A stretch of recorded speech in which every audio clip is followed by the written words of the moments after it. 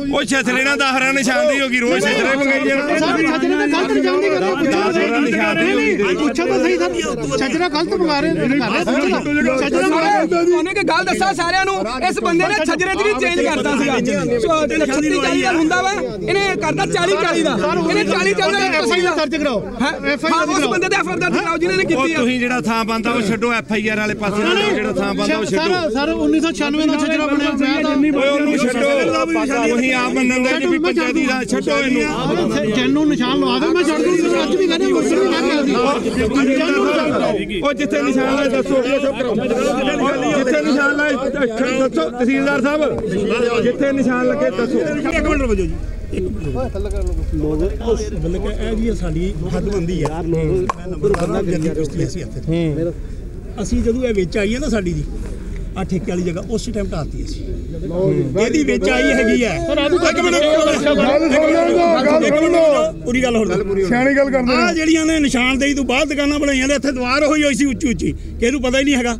ਜਦ ਇਹਨਾਂ ਦੀ ਨਿਸ਼ਾਨ ਸਹੀ ਲੱਗੀ ਹੈ ਫਿਰ ਦੁਕਾਨਾਂ ਕਿਉਂ ਬਣਾਈਆਂ? ਨੇ ਦੁਕਾਨਾਂ 21 ਦੇ ਬਣੀਆਂ ਹੋਈਆਂ। ਗਲਤ ਬਣਾਈਆਂ। ਗਲਤ ਬਣਾਈਆਂ ਨਾਲ ਮਿਲ ਕੇ ਬਣਾਈਆਂ ਬਾਈ ਜੀ। ਵਾਰੀ ਮਹਿਕਮਾ ਬੈਠਾ ਤੁਸੀਂ ਹਨਾ ਸਹਿਮਤ ਤੁਸੀਂ ਆਪਣੇ ਤੁਹਾਡੇ ਅਫਸਰ ਖੜੇ ਆ ਤੁਸੀਂ ਮੰਤਰੀ ਖੜੇ ਆ ਤੁਹਾਡੇ ਐਮਐਲਏ ਖੜੇ ਆ ਤੁਸੀਂ ਸੱਚਾਈ ਦੇਖ ਲਓ ਬਾਅਦ ਚ ਬਣਾਈਆਂ ਦੁਕਾਨਾਂ ਸੌ ਵੀ ਮਾਈਕ ਪਿੱਛੇ ਕਰ ਲੈ ਯਾਰ। ਅੱਲਾ ਦਾ ਸਾਰੇ ਪਤਾ ਕੀ ਆ ਮੇਰੀ ਇੱਕ ਰਿਕੁਐਸਟ ਸੁਣੋ ਮੇਰੀ ਰਿਕੁਐਸਟ ਸੁਣੋ ਉਹ ਥਾਂ ਦੇ ਪੰਚਾਇਤ ਦਾ ਕੀ ਕਰਦੇ? ਇੱਕ ਬੰਨੇ ਤੋਂ ਆਂਦਾ ਮੈਂ ਥਾਂ ਛੱਡ ਦੇਣਾ ਢਾ ਦੇਣਾ ਇੱਕ ਬੰਨੇ ਤੁਸੀਂ ਆਖੀ ਜਾਂਦੇ ਸਟੇ ਆ ਗਿਆ। ਤੁਹਾਡਾ ਨਹੀਂ ਪਤਾ ਲੱਗਦਾ। ਇੱਕ ਮਿੰਟ। ਇੱਕ ਮਿੰਟ। ਤੁਸੀਂ ਆਂਦੇ ਆਪ ਤਾਂ ਸਰ। ਸਟੇ ਬਣਾ ਕਿਉਂ ਆਇਆ। ਇਹ ਧੱਕਾ ਕਰ ਰਹੇ ਸੀ ਸਰ। ਇਹ ਹਾਈ ਕੋਰਟ ਦੇ ਸਟੇ ਦਾ ਧੱਕਾ ਕਰ ਰਹੇ ਤਾਂ ਸਟੇ ਆਇਆ ਮੈਂ ਫਿਰ ਵੀ ਛੱਡ ਸਟੇ ਛੱਡ ਦੋ। ਅਰੇ ਛੱਡ ਦੇ ਫਿਰਦਾ ਸਾਡੇ ਵਿੱਚ ਇਦਾਂ ਜਲੂਸ ਕੱਢ ਕੇ ਨਾ ਨਾ ਛਡਾਓ। ਮੈਨੂੰ ਇੱਕ ਵਾਰੀ ਇੱਕ ਬੰਦਾ ਕਹਿ ਦਿਓ ਤੁਸੀਂ ਕਿਸੇ ਦੀ ਡਿਊਟੀ ਲਾ ਦਿਓ ਐਮਐਲਏ ਸਾਹਿਬ ਦੀ ਲਾ ਦਿਓ। ਐਮਐਲਏ ਸਾਹਿਬ ਅੱਖਾਂ ਬੰਦ ਕਰਕੇ ਫੋਨ ਕਰਦਾ ਮੈਂ ਢਾ ਦੂੰਗਾ। ਛੱਡ ਦਿਓ। ਮੈਂ ਠੀਕ ਆ। ਐਮਐਲਏ ਤੁਸੀਂ ਅੱਖਾਂ ਬੰਦ ਕਰ ਦਿਓ ਮੈਂ ਤੋੜ ਛੱਡ ਦੂੰਗਾ। ਉਹ ਤਾਂ ਜਾਊਗਾ। ਤੂੰ ਇਹ ਮੰਨਦਾ ਨਾ ਪੰਚਾਇਤੀ ਥਾਂ ਹੈ। ਸਰ ਇਦਾਂ ਆ ਮੇਰੀ ਨਹੀਂ ਇੱਕ ਮਿੰਟ ਗੱਲ ਸੁਣ ਇਹ 10 ਵਾਰ ਲਿਖ ਕੇ ਦੇ ਗਿਆ ਵਾ ਇਹਨੇ ਛੱਡੀ ਨਹੀਂ ਆ 10 ਵਾਰ ਲਿਖ ਕੇ ਦੇ ਗਿਆ ਨਹੀਂ ਨਹੀਂ ਤੂੰ ਇਹ ਮੰਨਦਾ ਨਾ ਪੰਚਾਇਤੀ ਥਾਂ ਹੈ। ਇਹ ਮੰਨਦਾ ਨਾ ਤੂੰ ਪੰਚਾਇਤੀ- ਮੰਨ ਲਈ ਮੈਂ ਛੱਡ ਦੇਣਾ ਨਹੀਂ ਨਹੀਂ ਇੱਕ ਮਿੰਟ ਤੂੰ ਇਹ ਮੰਨਦਾ ਪੰਚਾਇਤੀ ਥਾਂ ਹੈ। ਹੁਣ ਪੰਚਾਇਤੀ ਤਾਂ ਇੰਨੀ ਨਹੀਂ ਹੈਗੀ ਇਹਨਾਂ ਨਹੀਂ, ਨੇ ਇੱਕ ਮਿੰਟ ਗਲਤ ਹੈ। ਇੱਕ ਮੇਰੇ ਪੇਪਰ ਦੇਖ ਲਓ। ਮਿੰਟ ਇੱਕ ਮਿੰਟ ਗੱਲ ਸੁਣ। ਤੂੰ ਮੇਰੇ ਕੋ ਗਿਆ ਉਦੋਂ ਵੀ ਮੈਂ ਤੁਹਾਨੂੰ ਥਾਂ ਛੱਡ ਦੇਣਾ ਜੀ। ਮੇਰਾ ਥਾਣਾ ਢਾਇਓ ਇਹ ਗੱਲ ਨੂੰ ਹੋ ਗਿਆ 4-5 ਮਹੀਨੇ। ਸਰ ਫੇਰ ਢਾਉਣਾ ਇੱਕ ਮਿੰਟ ਗੱਲ ਤੇ ਸੁਣ ਲਾ। ਤੂੰ ਮੇਰੇ ਕੋ ਗਿਆ ਵੀ ਮੈਂ ਥਾਂ ਛੱਡ ਦੇਣਾ। ਪੰਚਾਇਤੀ ਆ ਥਾਂ ਮੈਂ ਵਪਾਰੀ ਬੰਨਾ ਆ। ਮੇਰੀ ਭੰਡੀ ਹੋਊਗੀ ਤੁਸੀਂ ਨਾ ਕੁਝ ਕਰਿਓ ਤੂੰ ਹਾਈ ਕੋਰਟ ਜਾ ਕੇ ਸਟੇ ਸਰ ਏਦਾਂ ਨਾ ਜੀ, ਗੱਲ। ਨਜਾਇਜ਼ ਕਰਦੇ ਆ। ਉਹ ਗੱਲ ਤੇ ਸੁਣ ਉਦੋਂ 4 ਮਹੀਨੇ ਪਹਿਲਾਂ ਤੂੰ ਹਾਈ ਕੋਰਟ ਜਾ ਕੇ ਸਟੇ ਲਾਇਆ। ਉਹਦੇ ਬਾਅਦ ਹਾਈ ਕੋਰਟ ਨੇ ਡਾਇਰੈਕਸ਼ਨ ਕੀਤੀ ਜੀਡੀਸੀ ਨੂੰ ਉਹਨਾਂ ਕਿਹਾ ਵੀ 2 ਮਹੀਨੇ ਨਿਬੇੜ ਦੇ ਉਹਨਾਂ ਨਿਬੇੜਤਾ ਉਹਨਾਂ ਫੇਰ ਪੰਚਾਇਤ ਦੇ ਹੱਕ ਚ ਕਰਤਾ ਕਰਤਾ ਨਾ ਹੁਣ ਤੇਰਾ ਫਰਜ਼ ਬੰਦਾ ਸੀ ਤੂੰ ਆਪੇ ਛੱਡ ਸਰ ਦੇ। ਕੱਲ ਮੈਂ ਤੋੜਤੀ ਕੰਧ। ਮੈਂ ਬਿਨਾਂ ਨਹੀਂ ਆ ਵੀ ਆ ਛੱਡ ਜਿਹੜਾ ਗੱਲ ਆਉਂਦੀ ਆ। ਸਰ ਇਹੀ ਤਾਂ ਨਿਸ਼ਾਨ ਮੈਂ ਹਾਂਜੀ। ਖਾ ਕੇ ਲਿਆ ਡਾਇਰੈਕਟਰ ਸਾਹਿਬ ਨੂੰ ਦੁਕਾਨ ਖਾ ਕੇ ਲਿਆ ਆਹ ਤਹਿਸੀਲਦਾਰ ਸਾਹਿਬ ਝੂਠ ਬੋਲਣ ਦੇ। ਤਹਿਸੀਲਦਾਰ ਸਾਹਿਬ। ਕੰਨ ਦੀ ਸਮਝ ਦੇ ਵਿੱਚ ਸਿੱਧੀ ਸਿੱਧੀ ਗੱਲ ਇਹਨਾਂ ਨੇ ਸਰ ਏਦਾਂ ਆ। ਤਹਿਸੀਲਦਾਰ ਦੀ ਗੱਲ ਤਹਿਸੀਲਦਾਰ ਸਾਹਿਬ ਦੀ ਗੱਲ ਕਰੋ। ਏਦਾਂ ਕਰੋ। ਤੁਹਾਡਾ ਹੁਣੇ ਦੁੱਧ ਦਾ ਦੁੱਧ ਪਾਣੀ ਤਹਿਸੀਲਦਾਰ ਨੂੰ ਆਪਣਾ ਛਜਰਾ ਮੰਗਾ ਲਓ। ਤੇ ਦੁੱਧ ਦਾ ਦੁੱਧ ਪਾਣੀ ਤੇ ਉਹਨਾਂ ਨਿਸ਼ਾਨਦੀ ਲਈ ਆ। ਕਿੱਥੇ ਹੋ ਗਏ ਛਜਰਾ ਮੰਗਾ ਕੇ 10 ਵਾਰ ਨਿਸ਼ਾਨਦਾਈ ਕਰਵਾਤੀ। ਇਹ ਤਾਂ ਬਾਰ-ਬਾਰ ਨਿਸ਼ਾਨਦਾਈ ਕਹੀ ਜਾਂਦਾ ਕਰਾ ਨਿਸ਼ਾਨਦਾਈ ਕਰਾ ਦਿਓ ਇਹ ਜ਼ਮੀਨ ਜਿਹੜੀ ਆ 1750 ਗਜ ਤੋਂ ਵੱਧ ਜ਼ਮੀਨ ਆ ਤੇ ਘੱਟ ਤੋਂ ਘੱਟ ਇਹ 10 ਕਰੋੜ ਦੀ ਕੋਸਟ ਦੀ ਜ਼ਮੀਨ ਆ ਇਹ। 10 ਕਰੋੜ ਰੁਪਈਆ 10 ਕਰੋੜ ਰੁਪਏ ਦੀ ਕੀਮਤ ਦੀ ਘੱਟ ਤੋਂ ਘੱਟ ਜ਼ਮੀਨ ਆ ਹੋਵੇ ਤੇ ਵੱਧ ਪੈਸਿਆਂ ਦੀ ਹੋਵੇ। ਜੇ ਇੱਥੇ ਦੁਕਾਨਾਂ ਬਣ ਸ਼ੋਰੂਮ ਬਣ, ਫਿਰ ਤੇ 20 25 ਕਰੋੜ ਦੀ ਕੀਮਤ ਦੀ ਵੀ ਜ਼ਮੀਨ ਆ। ਕਮਰਸ਼ੀਅਲ ਜ਼ਮੀਨ ਆ, ਲਾਗੇ ਚੰਗੀਆਂ ਰਹਿਸ਼ੀ ਲੋਕਾਂ ਦੀਆਂ ਜਗ੍ਹਾ ਨੇ, ਲੋਕਾਂ ਦੀਆਂ ਦੁਕਾਨਾਂ ਵੀ ਨੇ ਤੇ ਇਹ ਬੰਦਾ ਜਿਹੜਾ ਵਿਕਾਸ ਪਾਸੀ ਆ, ਇਹ ਅੱਜ ਤੋਂ 4-5 ਮਹੀਨੇ ਮੇਰੇ ਕੋਲ ਮੇਰੇ ਦਫ਼ਤਰ ਆਇਆ ਤੇ ਮੈਨੂੰ ਇਹਨੇ ਆਪ ਬੰਦੇ ਨੇ ਮੰਨਿਆ ਵੀ ਇਹ ਪੰਚਾਇਤੀ ਜਗ੍ਹਾ ਤੇ ਮੈਂ ਮੰਤਰੀ ਸਾਹਿਬ ਆਪ ਇਹ ਜਗ੍ਹਾ ਛੱਡ ਦੇਣੀ ਆ। ਅਸੀਂ ਇਹਦੇ ਤੇ ਵਿਸ਼ਵਾਸ ਕਰ ਲਿਆ, ਇਹਨੇ 10-15 ਦਿਨ ਦਾ ਸਮਾਂ ਲੈ ਲਿਆ। ਇਹ ਬੰਦਾ ਜਾ ਕੇ ਫਰਾਡ ਕੀਤਾ, ਇਹਨੇ ਬੰਦੇ ਨੇ ਜ਼ੁਬਾਨ ਕਰਕੇ ਤੇ ਕੋਰਟ ਦੇ ਵਿੱਚ ਜਾ ਕੇ ਤੇ ਝੂਠੇ ਸੱਚੇ ਪੇਪਰ ਲਾ ਕੇ ਸਟੇ ਲੈ ਆਇਆ ਇਹ ਬੰਦਾ। ਉਹਦੇ ਬਾਅਦ ਮਾਨਯੋਗ ਹਾਈ ਕੋਰਟ ਨੇ ਡਾਇਰੈਕਸ਼ਨ ਕੀਤੀ ਜੀਡੀਸੀ ਜੁਆਇੰਟ ਡਾਇਰੈਕਟਰ ਹੈ ਸਾਡੇ ਅਮਿਤ ਕੁਮਾਰ ਜੀ, ਉਹਨਾਂ ਨੂੰ ਕਿ 2 ਮਹੀਨਿਆਂ 'ਚ ਇਹ ਕੇਸ ਖਤਮ ਕੀਤਾ ਜਾਵੇ। ਉਹ ਫੈਸਲਾ ਕੀਤਾ ਗਿਆ, ਅੱਜ ਉਸ ਫੈਸਲੇ ਨੂੰ 18-20 ਦਿਨ ਹੋ ਗਏ ਆ, ਜਿਹੜਾ ਕਿ ਪੰਚਾਇਤ ਤੇ ਫੇਰਾ ਕਿਉਂਕਿ ਇਹ ਜ਼ਮੀਨ ਹੀ ਪੰਚਾਇਤ ਦੀ ਆ। ਜਿਹੜੀ ਜ਼ਮੀਨ ਪੰਚਾਇਤ ਦੀ ਆ, ਸ਼ਾਮਲਾਟ ਆ, ਆਬਾਦੀ ਦੇ ਆ, ਉਹ ਪਿੰਡਾਂ ਦੀ ਸਾਰੀ ਸਾਂਝੀ ਜ਼ਮੀਨ ਆ। ਉਹ ਕੱਲੇ ਇੱਕ ਬੰਦੇ ਦੀ ਨਹੀਂ ਅੱਜ ਇਹ ਬੱਲੋ ਕੇ ਪਿੰਡ ਲੁਧਿਆਣੇ ਜ਼ਿਲ੍ਹੇ ਦੇ ਵਿੱਚ ਬੱਲੋ ਕੇ ਪਿੰਡ 'ਚ ਅਸੀਂ ਆਏ ਆ ਇਹ ਬੱਲੋ ਕੇ ਸਾਰੇ ਪਿੰਡ ਦੀ ਜ਼ਮੀਨ ਹੈ ਤੇ ਸਾਰੇ ਪਿੰਡ ਵਾਲੇ ਇਕੱਠੇ ਹੋਇਆ ਕੈਮਰਾ ਮਾਰ ਕੇ ਵੇਖੋ। ਇਹਨਾਂ ਸਾਰੇ ਇਹ ਤੁਹਾਡੀ ਜ਼ਮੀਨ ਛੁੱਟਣੀ ਚਾਹੀਦੀ ਸੀ ਕਿ ਨਹੀਂ ਛੁੱਟਣੀ ਚਾਹੀਦੀ? ਸਹੀ ਛੁੱਟੀ ਆ ਜੀ ਹਾਂਜੀ। ਤੇ ਇਹ ਬੰਦਾ ਕੱਲ ਮੈਨੂੰ ਇਹਨੇ ਕੱਲ ਵੀ ਅੱਜ ਵੀ ਫੋਨ ਕੀਤਾ ਕਿ ਮੈਂ ਮੰਤਰੀ ਸਾਹਿਬ 50 ਲੱਖ ਰੁਪਇਆ ਲਾ ਕੇ ਇੱਧਰ ਨੂੰ ਸੜਕ ਬਣਾ ਦੇਣਾ ਸੜਕ ਨਹੀਂ ਬਣੀ ਮੈਂ ਪਿੰਡ ਦੇ ਵਿਕਾਸ ਤੇ ਇਹ ਪਹਿਲਾਂ 50 ਲੱਖ ਆ ਕਿਹਾ ਮੁੜ ਕੇ ਕਿਹਾ ਮੈਂ 2 ਕਰੋੜ ਰੁਪਇਆ ਵੀ ਲਾ ਦੂੰਗਾ। ਵੇਖੋ, ਕਿਸੇ ਨੂੰ ਕੀ ਲੋੜ ਹੈ ਕਿਸੇ ਦੀ ਸੜਕ ਤੇ ਪੈਸੇ ਲਾਉਣ ਦੀ? ਉਹ ਜੋ ਪੰਚਾਇਤੀ ਜ਼ਮੀਨ, ਸਰਕਾਰੀ ਜ਼ਮੀਨ ਪਿੰਡ ਦੀ ਜਾਇਦਾਦ ਤੇ ਉਹ ਪਿੰਡ ਨੂੰ ਛੱਡੇ। ਤੇ ਜਿਹੜਾ ਕੋਈ ਸੜਕ ਬਣਨ ਵਾਲੀ ਆ, ਜੇ ਵੈਸੇ ਇਹਦਾ ਸੇਵਾ ਕਰਨ ਦਾ ਮਾਣ ਆ, ਇਹ ਸੇਵਾ ਕਰੇ, ਇਹ ਨਾ ਨਾ ਕਰੇ ਵੀ 10 15 ਕਰੋੜ ਦੀ ਜ਼ਮੀਨ ਹੜੱਪ ਕੇ ਲੋਕਾਂ ਦੀ ਸਰਕਾਰ ਦੀ। ਤੇ ਉਹਦੇ ਹੀ ਵਿੱਚ 50 ਲੱਖ ਕਰੋੜ ਰੁਪਈਆ ਲਾ ਕੇ ਕੋਈ ਸੜਕ ਬਣਾਉਣੀ ਆ। ਤੇ ਉਹਦੇ ਬਾਅਦ ਇਹ ਸੜਕ ਅਸੀਂ ਸਰਕਾਰੀ ਫੰਡ ਚੋਂ ਆਪੇ ਬਣਾ ਲਾਂਗੇ। ਤੇ ਇਸ ਬੰਦੇ ਨੇ ਪਿੰਡ ਨੂੰ ਵੀ ਬੜੇ ਤਰ੍ਹਾਂ ਦੇ ਲਾਲਚ ਦਿੱਤੇ। ਮੈਂ ਤੇ ਬਾਕੀ ਪਿੰਡਾਂ ਨੂੰ ਵੀ ਬੇਨਤੀ ਕਰੂੰਗਾ ਕਿ ਇੱਥੇ ਸਾਰੇ ਪਿੰਡ ਨੇ ਮਿਹਨਤ ਕੀਤੀ ਹੈ ਪਿੰਡ ਨੇ ਇੱਕ ਮੁੱਠ ਹੋ ਕੇ ਸਾਥ ਦਿੱਤਾ ਸਰਕਾਰ ਦਾ ਤੇ ਆਪਦੇ ਨਗਰ ਦਾ। ਉਸੇ ਤਰ੍ਹਾਂ ਹੀ ਮੈਂ ਦੂਜੇ ਪਿੰਡਾਂ ਨੂੰ ਵੀ ਬੇਨਤੀ ਕਰਦਾ ਕਿ ਤੁਹਾਡੇ ਪਿੰਡਾਂ ਜੇ ਕੋਈ ਸ਼ਰਾਰਤੀ ਅੰਸਰੇ ਕੋਈ 2 4 5 ਬੰਦੇ ਜਿਨ੍ਹਾਂ ਕਬਜ਼ੇ ਕੀਤੇ ਪੰਚਾਇਤੀ ਜ਼ਮੀਨਾਂ ਤੇ।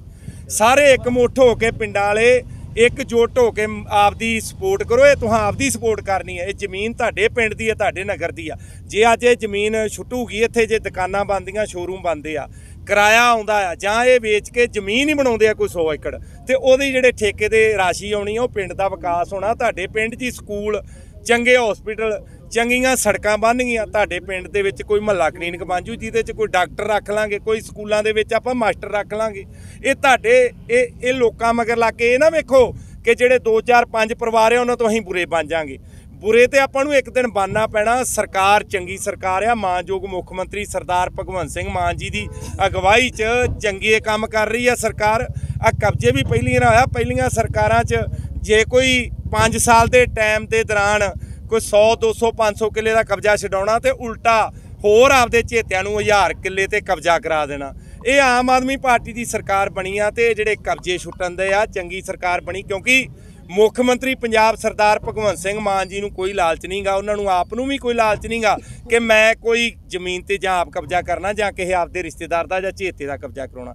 ਉਸੇ ਤਰ੍ਹਾਂ ਹੀ ਸਾਡੇ ਐਮਐਲਏ ਮੰਤਰੀ ਜਿਹੜੇ ਆ ਉਹਨਾਂ ਦਾ ਕੋਈ ਇਹ ਮੰਤਵ ਨਹੀਂਗਾ ਵੀ ਅਸੀਂ ਕੋਈ ਕਿਸੇ ਦੀ ਜ਼ਮੀਨ ਤੇ ਜਾਂ ਕੋਈ ਪੰਚਾਇਤੀ ਜ਼ਮੀਨ ਤੇ ਕਬਜ਼ਾ ਕਰਨਾ। ਵੇਖੋ ਜਿਹੜੀ ਇਲੀਗਲ ਕਲੋਨੀ ਉਹ ਕੱਲੇ ਲੁਧਿਆਣੇ ਨਹੀਂ ਪੰਜਾਬ ਦੇ ਵਿੱਚ ਪਿਛਲੀਆਂ ਸਰਕਾਰਾਂ 'ਚ ਇਲੀਗਲ ਕਲੋਨੀਆਂ ਬਣੀਆਂ। ਸਾਡਾ ਤੇ ਜਿਹੜਾ ਵੇਖੋ ਮੇਰਾ ਡਿਪਾਰਟਮੈਂਟ ਪੰਚਾਇਤ ਡਿਪਾਰਟਮੈਂਟ ਜੇ ਕੋਈ ਸਾਡੀ ਸਰਕਾਰੀ ਪੰਚਾਇਤ ਦੀ ਜ਼ਮੀਨ ਤੇ ਸ਼ਾਮਲਾੜ ਤੇ ਆਬਾਦੀ ਦੇ ਤੇ ਕਿਸੇ ਕਲੋਨੀ ਵਾਲੇ ਨੇ ਕੋਈ ਕਬਜ਼ਾ ਕੀਤਾ ਉਹਦੇ 'ਚ ਅਸੀਂ ਦਖਲ ਲੈ ਕੇ ਉਹਦੇ 'ਚ ਅਸੀਂ ਆਪਦਾ ਜਿਹੜਾ ਪੰਚਾਇਤ ਵਿਭਾਗ ਦਾ ਜਿਹੜਾ ਵਾ ਉਹ ਕਬਜ਼ਾ ਕਰਾਵਾਂਗੇ। ਉਹਦੇ ਤੋਂ ਜਿਹੜੀ ਇਨਕਮ ਆਊਗੀ ਉਹਦੇ ਨਾਲ ਪਿੰਡਾਂ ਦਾ ਵਿਕਾਸ ਕਰਾਵਾਂਗੇ। ਵੇਖੋ ਐਮਐਲਏ ਸਾਹਿਬ ਨੂੰ ਵੀ ਇਹ ਕਹਿੰਦੇ ਅੱਜ ਵੀ ਉਹ ਬੰਦਾ ਮੰਨਣ ਦਿਆ ਵੀ ਇਹ ਪੰਚਾਇਤੀ ਥਾਂ ਮੈਂ ਛੱਡ ਦੂੰਗਾ। ਮੰਨਣ ਤੇ ਮੰਨਦਾ ਵਾ ਮੰਨ ਕੇ ਤੇ ਮੁੜ ਕੇ ਕੋਰਟ 'ਚ ਚਲਾ ਜਾਂਦਾ ਵਾ। ਇਹ ਇਹ ਐਮਐਲਏ ਸਾਹਿਬ ਨੂੰ ਵੀ ਇਹ ਮੰਨ ਕੇ ਗਿਆ ਮੈਨੂੰ ਮੰਨ ਕੇ ਮੈਂ ਆਪ ਦੱਸਣ ਦਿਆਂ ਤੁਹਾਨੂੰ। ਉਹ ਅੱਜ ਫੇਰ ਬੰਦਾ ਮੰਨਣ ਦਿਆ ਵੀ ਮੈਂ ਆਪੇ ਛੱਡ ਦੂੰਗਾ। ਉਹ ਮੁੜ ਕੇ ਮੰਨ ਕੇ ਤੇ ਫੇਰ ਦੂਜੇ ਪਾਸੇ ਹੋ ਜਾਂਦਾ ਬੰਦਾ। ਦੇਖੋ ਐਮਐਲਏ ਸਾਹਿਬ ਆਏ ਕੇਲ ਲੜਕਾ ਇਹਨਾਂ ਦਾ। ਅੱਜ ਅੱਜ ਆਏ ਕਹਿੰਦੇ? ਉਹਨੇ ਉਹਨੇ ਇੱਥੇ ਬੋਲਿਆ ਕੈਮਰੇ ਦੇ ਅੱਗੇ।